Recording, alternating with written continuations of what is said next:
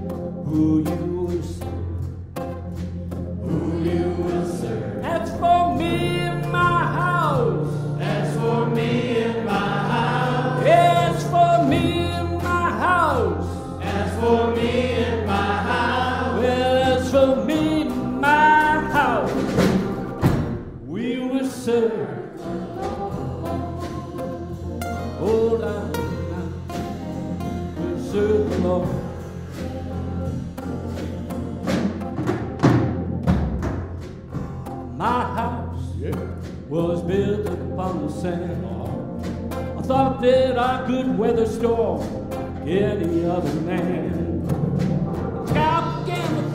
no surprises.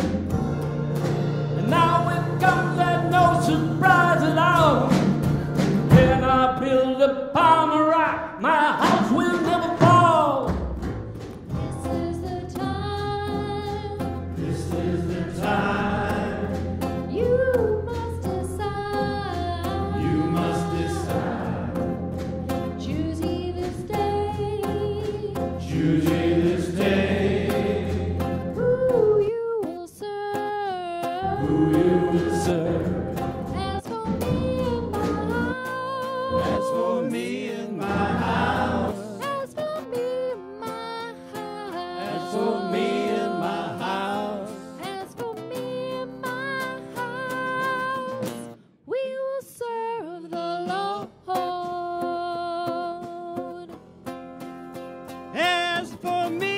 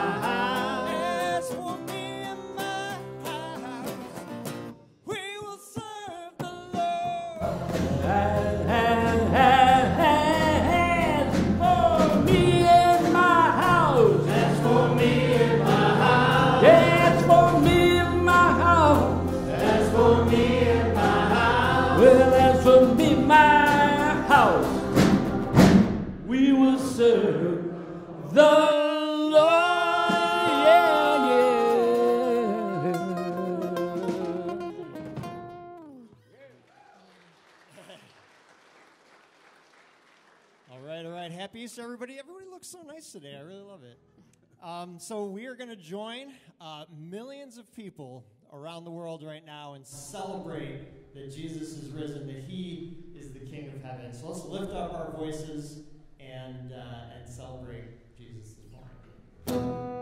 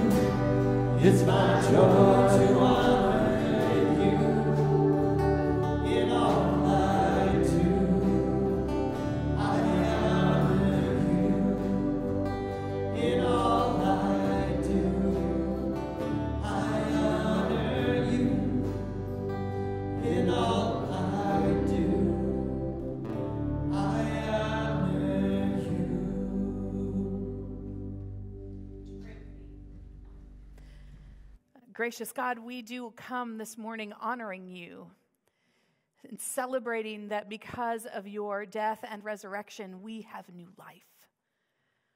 Lord, we say with churches around the world and the hosts in heaven, Alleluia. Praise, praise to the risen Christ. We thank you for this great gift of salvation. Amen. Amen. So, I brought my computer up here, not on accident.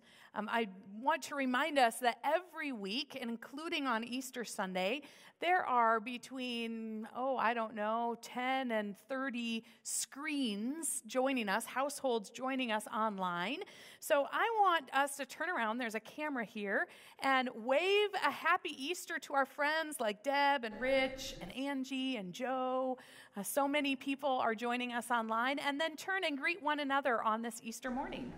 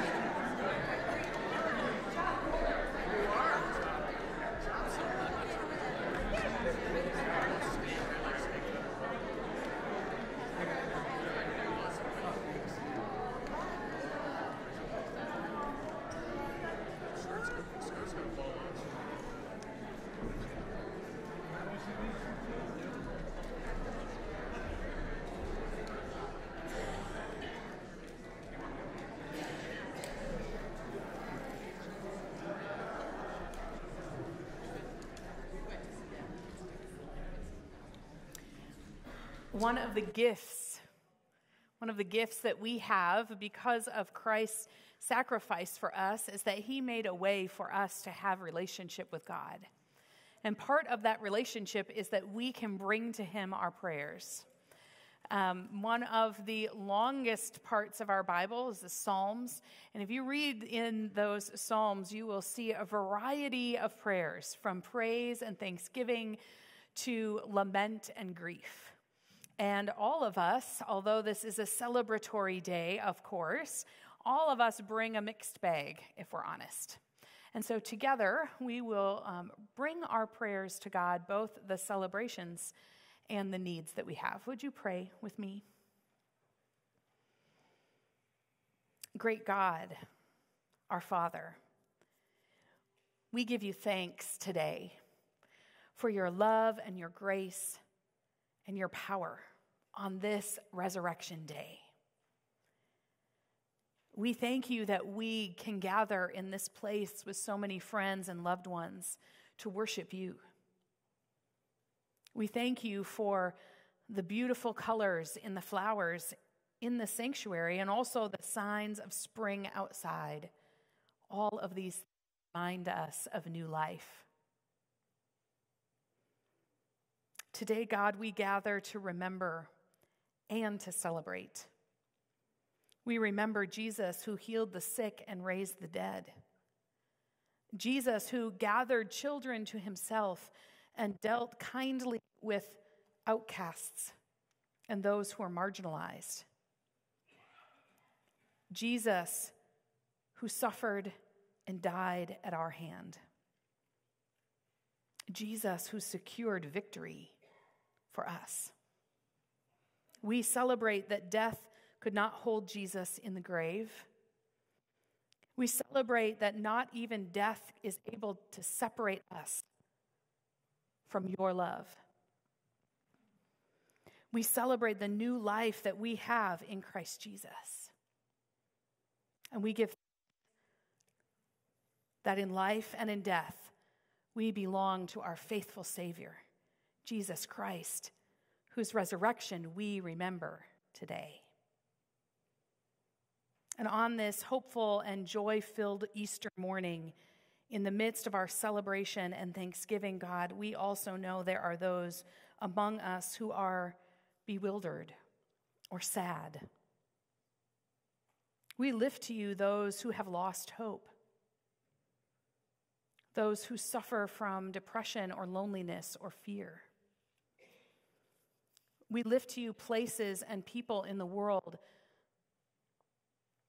where things are not as they ought to be, places where the poor are ignored or disregarded, where war never ends, where children are hungry, where parents grieve because they cannot provide, where accidents happen and death abounds senselessly. God, we lift to you those who are held hostage to addiction or chronic illness, things that debilitate us. Loving Father, may your resurrection give life to those who feel lifeless this morning. Might you inspire those who feel like they might just be going through the motions because of sadness or grief or pain. Meet each one in their need. God, we pray that the good news of the resurrection would give hope to those who are in most need of hope. Those who wonder if you are near will be reminded of your great love. God, may the good news of this resurrection give joy to those who feel less than joyful today. Remind each one of us of the joy and hope that you offer as we celebrate this resurrection. God, we know that we are meant to be your people, ones that you call to participate in your work in this place and in this time, that your kingdom of peace and wholeness would fully come. Empower us by your Spirit to show others the promise of resurrection to remind everyone we meet that love is stronger than death. We ask all these things in the name of the risen Christ who taught us to pray, saying, Our Father, who is in heaven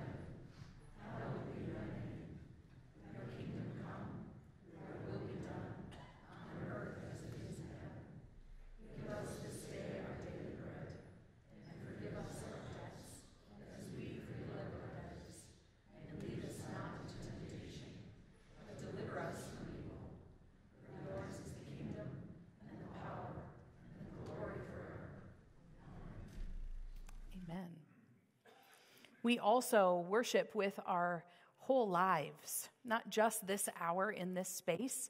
We worship with the ways that we use our gifts and talents, those things that God has gifted us with. We worship with the ways that we use our finances and our time. So, there are many ways to give to the work that's happening here through uh, God's work that's happening through this church here at Bethany. Uh, they are on the screen. Um, there's also a plate at the back. You may have already encountered it. In this time, though, of offering, I want to ask you to hold your hands out in front of you. And I want you to imagine that in your hand is the things that you are offering to God this morning. Whether those are financial offerings or the way that you will spend your time in this coming week, the ways that you will use your gifts and talents to His glory. And let's offer them up to God together. Gracious God, take these gifts, the things that you have gifted us with that we want to use for your good purposes, for your kingdom purposes. Use them in ways that astound us. Use them in ways that promote your goodness and your love for this creation. We ask in Jesus' name. Amen.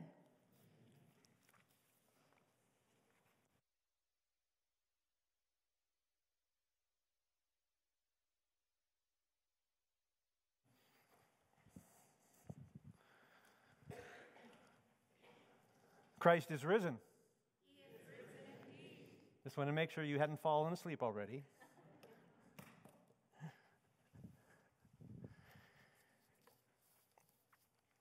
As we uh, look to share the Lord's word this morning,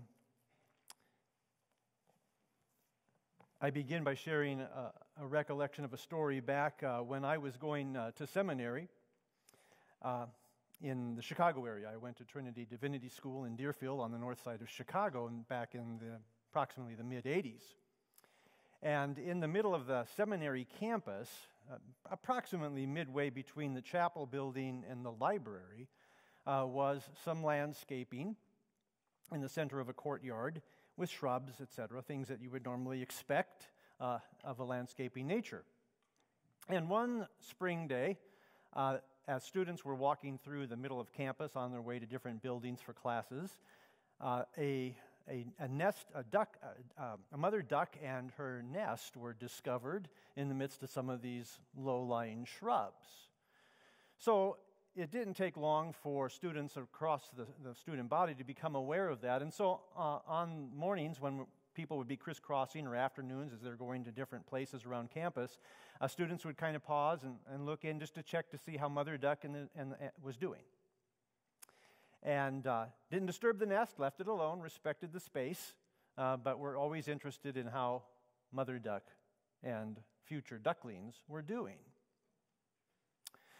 One morning, however, as we were crisscrossing across campus, uh, discovered that the, what appeared to be uh, the nest uh, had been destroyed. And of course, the mother duck wasn't there, and, and just everything was smashed. And so that just kind of put a, a damper on students' moods, uh, which certainly made going to some dry Old Testament classes a little harder to bear. Most, no, most classes were not dry and boring, but there were a few. So the afternoon of this particular day, as I was making my way across the center of campus to another uh, uh, building uh, that, that traced along uh, um, a fairly good sized pond, what do you think I saw? Yes. The mother, mother duck and her seven little ducklings paddling with all their lives in a straight line behind mom. And in that instant, that moment of being transformed from what actually happened, was there a, a disaster? Did something or someone come and destroy the nest? No, it was about life paddling away in the pond. That memory has stuck in my mind, obviously, because I'm able to tell you this story this morning uh, but it has always served a little bit as a, uh, image of Resurrection Day, of death, or what was perceived as death and destruction transformed uh, into life. That was a great moment. But there is a greater moment, that moment of celebration when someone who has been wondrously healed from a significant disease or a threatening injury. Perhaps some who are gathered here, either in person or online, has had such a moment in which you faced a health challenge, a big scare, or know someone who has. And by God's grace, in the process of being treated and, and resting, has been healed. So we have a great moment, my little duck story, or a greater moment when someone is wondrously healed from a disease or a tragic injury. But then there's the greatest moment. And it's the greatest moment that is the reason we are gathered together today on this day of the resurrection. When one who has died is raised to life. This would be truly unique and excel all other healings. This is what this day is all about. So, Christ the Lord is risen, humiliated in death, is raised to life. So, repeat these words after me Christ is risen. Christ is risen. Hallelujah. Hallelujah. Christ is risen. Christ is risen. Hallelujah. Hallelujah. Christ is risen. Hallelujah. I think we're getting the point. So imagine that tomb empty, the big stone is rolled off to the side, and the daylight of resurrection morning is shining bright into that tomb. And as it shines brightly into that tomb, which is empty, it is proclaiming the greatest healing. That Christ is healed from death, and that the Lord's resurrection paves the way for your healing from death when that time comes.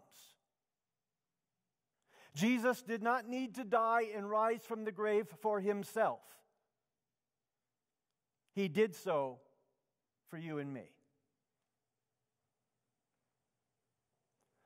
So, on this day, even as we deal with life struggles and life travails, and we all have them from time to time and in various degrees, those things do not change the reality of this day. The tomb is empty. Christ is risen. He is risen indeed. He's healed. The Greek word that we uh, gets translated in, into English as our word salvation carries little nuances of meaning. They all interact. They're not contradictory to each other, but carries the idea of being rescued and certainly of being saved from something, and it includes the idea of being healed, because to be healed is to be saved from something. To be healed is to be rescued from something. And on this day, so long ago, Jesus was rescued from death. He was healed from death. He was saved from death, and He paves the way for you and me. So, what a day it was. So, having said all of that, let's read one of the gospel accounts of this magnificent, unique day from the Gospel of Matthew.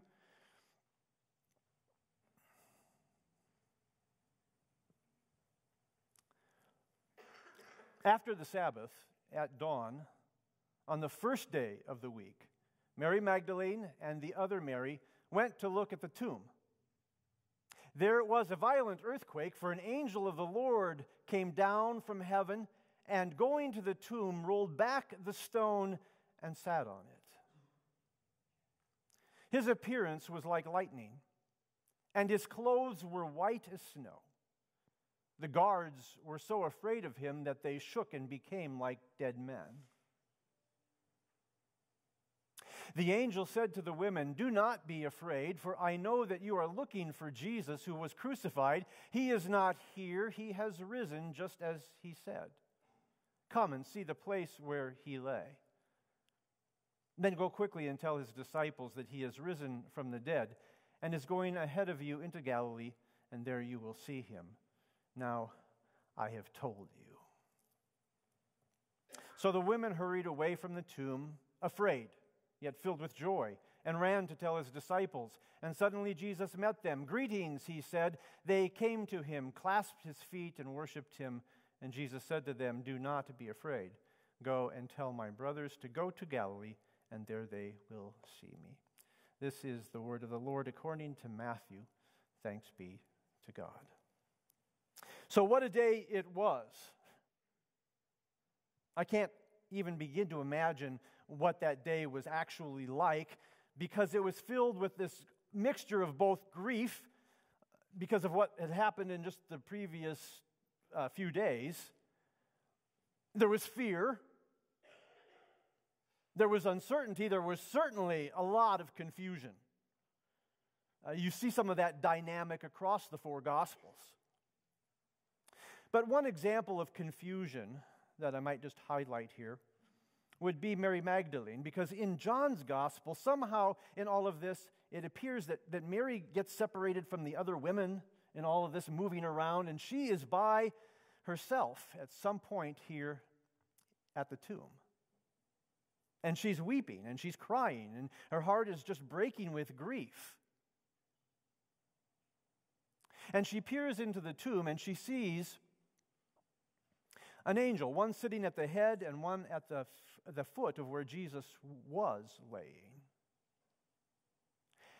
And, and one of the angels asks her, Why are you weeping? And her response is that they have taken my Lord, and I do not know where they have put him. And, and in this exchange, she sees Jesus, but does not recognize that his, it is Jesus for whatever reason. She doesn't recognize Jesus is standing there, perhaps off to the side. She thinks he's the gardener. And so Jesus asks her, Why are you weeping? And she says, If you know where he is, tell me and I will go get him. And in a moment of clarity, Jesus just calls her name Mary. Say with me her name Mary. And in hearing her name being called, she recognizes that voice. That is not the voice of a gardener. This is the voice of Jesus. And she turns and she greets him, Teacher.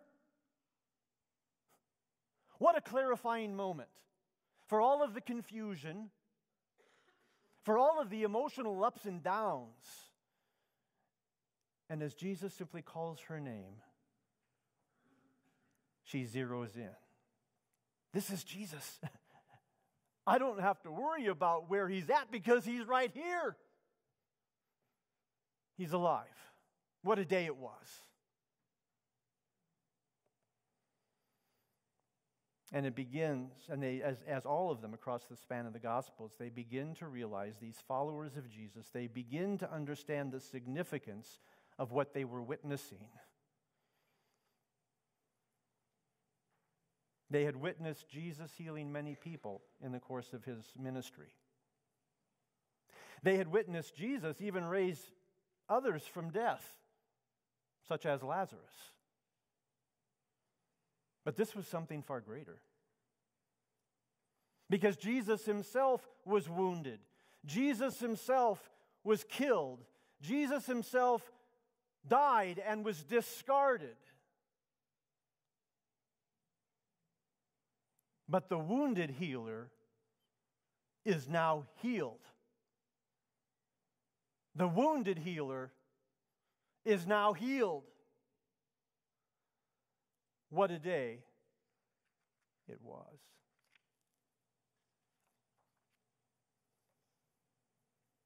But we can also stand here today and say, What a day it will be.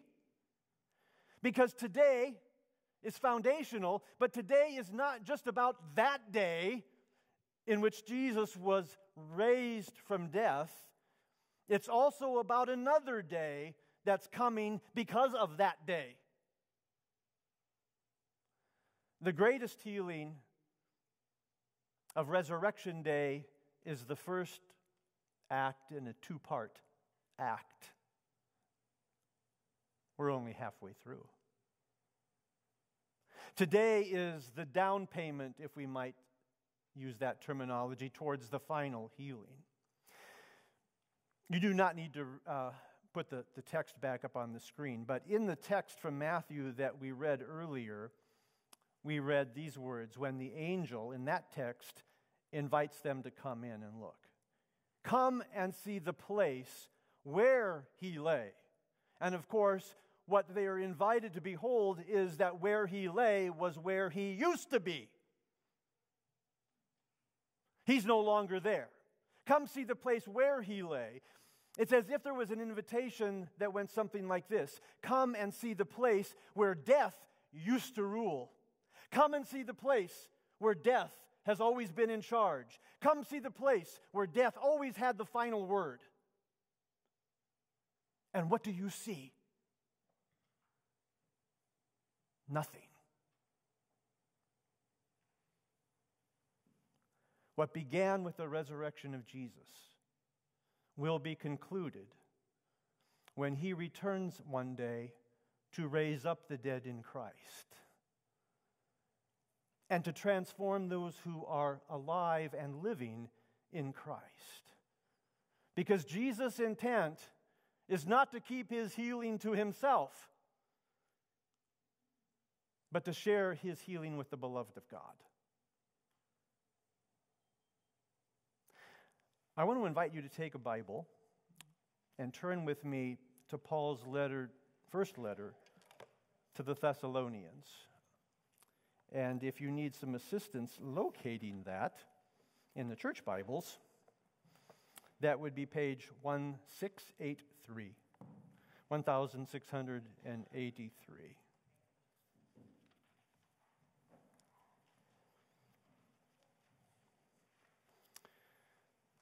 In these words, the Apostle Paul is writing to this church so long ago, and his words are meant to be instructive for us these many, many years later.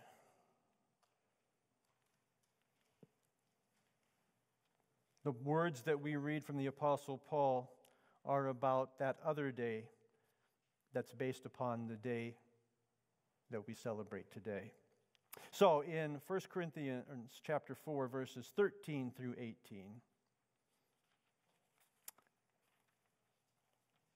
hear these words Brothers and sisters, we do not want you to be uninformed about those who sleep in faith, or in other words, those who have died in Christ, so that you may not grieve like the rest of mankind who have no hope. For we believe that Jesus died and rose again, and so we believe that God will bring with Jesus those who have fallen asleep in him. According to the Lord's word, we tell you that we who are still alive, who are left until the coming of the Lord, will certainly not precede those who have fallen asleep.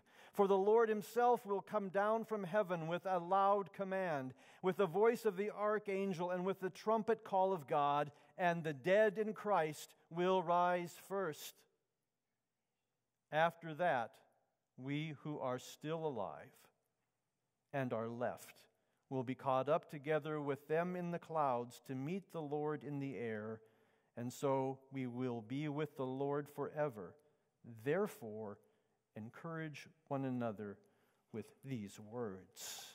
We can anticipate that other day because of the day that we look back and celebrate today. If that day had not happened, there certainly wouldn't be, this anticipation of another day.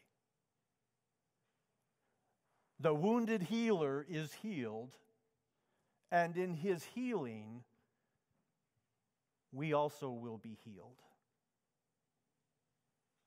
That anchors us when we live in a world filled with all kinds of wounds. Not just physical wounds, not just sickness, but the wounds that we pick up along the way as we go through life, the hurts. The hurts that we encounter when things don't go our way or when someone treats us or speaks ill of us. All of those wounds. And then ultimately, the biggest wounds, of course, being illness and death. But knowing that Jesus has been there, done that, gives us confidence and strength when we face whatever challenges that, we face. That the wounded healer will return. And all who have been wounded in Christ will be raised to new life. In a few moments, we will share the Apostles' Creed, a statement, summary statement of the Christian faith that Christians have professed and shared down through the ages of the church. And this creed contains both a reference to Christ's death and his resurrection, but it also will conclude speaking about the belief of our own bodily resurrection. Today, is this the kind of hope behind all the other hopes of your life? Do you live your life with the confidence that you will experience the greatest healing that Jesus has won for you? Do you live believing that Jesus will have the last word? even as you live through whatever travails of life may be present right now. And I, my assumption is that some of us are living with some travails, whether it's online or gathered in person. Does the resurrection life of Jesus still pulse inside of you? Inside of me? When life is hard and when it's difficult because it's meant to. It's meant to give you what you need as you're processing and dealing with the junk of life. Because he himself experienced it all. If you are living with that hope, the resurrection life has already begun inside of you that sets you on a firm foundation. One other passage that I want you to turn to, and that's Paul's letter to the Colossians, chapter 3. So if you backtrack to page uh, 1678, just a few verses here. So, Colossians chapter 3, verses 1 to 4. So, once you find it, I'm going to invite you to read along out loud with me. Again, Colossians chapter 3, verses 1 through 4. Let's read together. Since then, you have been raised with Christ. Set your hearts on things above, where Christ is, seated at the right hand of God. Set your minds on things above, not on earthly things. For you died, and your life is now hidden with Christ in God And when Christ, who is your life, appears, then you also will appear with him in glory. That's the truth. The greater truth that stands over and above all of the life truths that we're having to live through. Since then, you have been raised with Christ. Set your mind on things above. That doesn't mean become so earthly or heavenly minded that you can't do anything here. It means what is your focus, even as you're going through the tough stuff of life? Set your mind on things above where Christ is seated at the right hand of the Father. And when Christ, who is your life, comes, you will appear with him in glory. That's about the other day yet to come.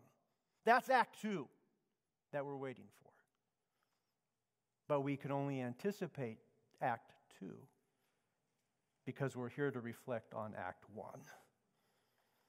What Jesus accomplished sets the pace for what will yet come.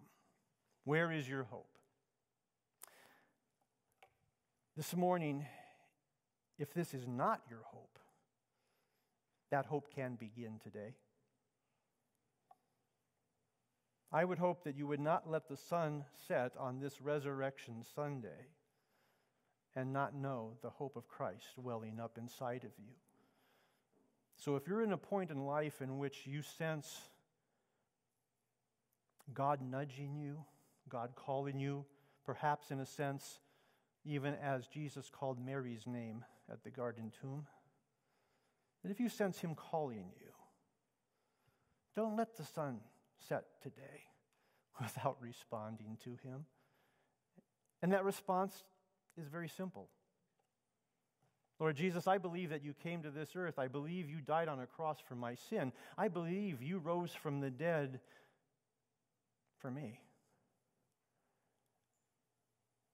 And I trust you.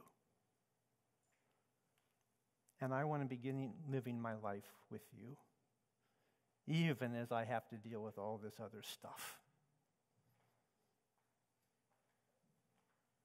Let's pray.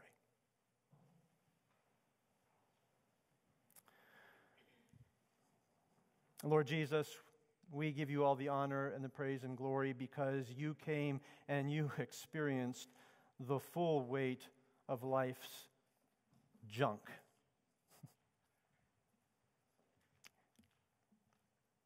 You carried the full weight of our sin and our brokenness upon yourself.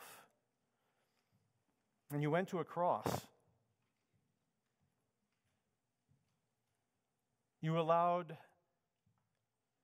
you allowed your body to be abused. You allowed your blood to pour.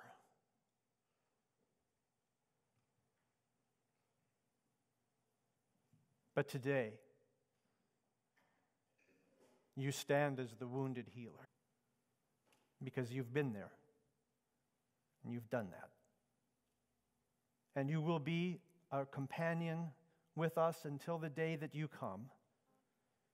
And you call our name, and that trumpet blasts, and we join you forever and ever in the life that is yet to come. We thank you, O God, that though dying is a real event in this world, it is no longer king. You are. And so fill us with your hope today and lead us into the tomorrows with confidence because you died and you rose again. In your name we pray. God's people say, Amen. Would you stand with me as we share the words of the Apostles' Creed? And I would trust that when we get to the sections in there that talk about resurrection, yes, say it with a little more oomph. Right? This is not about Jesus rose from the dead. Right? He is risen, right? He is risen indeed. So let's confess our faith. I believe in God the Father Almighty, maker of heaven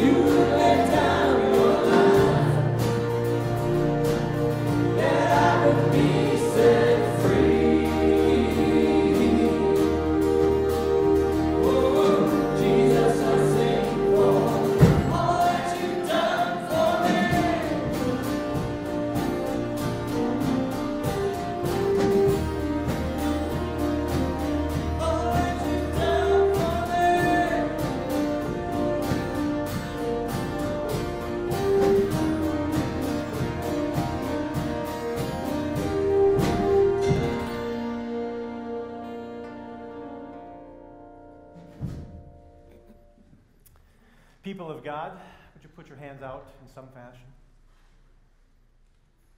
You look at your hands, there are no nail marks, there are no scars, because Jesus is the one who holds those. And as you go forth from this place today, may you go forth filled with His grace, His mercy, and peace, because He is more than able to handle any and all the scars that you accumulate on the road of life. Christ is risen. He is risen indeed. And repeat this the wounded healer is healed. The wounded healer let him heal you.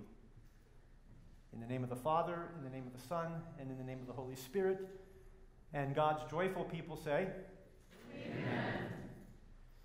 Praise God